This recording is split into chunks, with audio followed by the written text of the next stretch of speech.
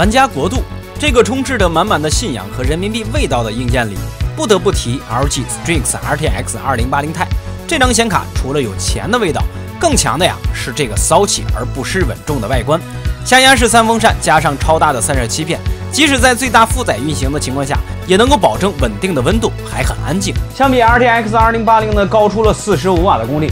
虽然说只有四十五瓦功率的提升，但是在娱乐大师里，相比它的同门师兄2080，足足提高了十万的跑分。而作为显卡中真正的追光者，拥有了最强的张量内核、深度学习的能力。使得用户获得更高的帧率和更好的游戏画面效果，以及游戏体验大幅提升。在2080 Ti 当中加入了 HDR 技术，最高支持 8K 画面输出，配上一款 HDR 显示器，能够畅享影院级的小电影。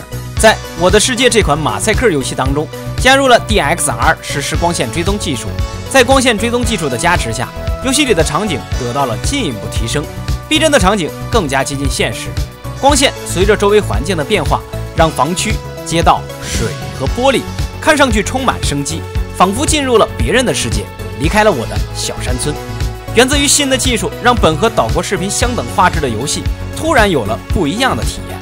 总的来说啊，RTX 光线追踪和 DLSS 核心 RT 核心技术，让游戏在体验上得到了进一步的提升。而面对工艺制成难度不断加大，或许这种深度学习技术啊，能够让计算机技术发展的更快。我想。LG Strix RTX 2080 Ti 在英伟达的最新技术支撑下，让用户啊不止于信仰。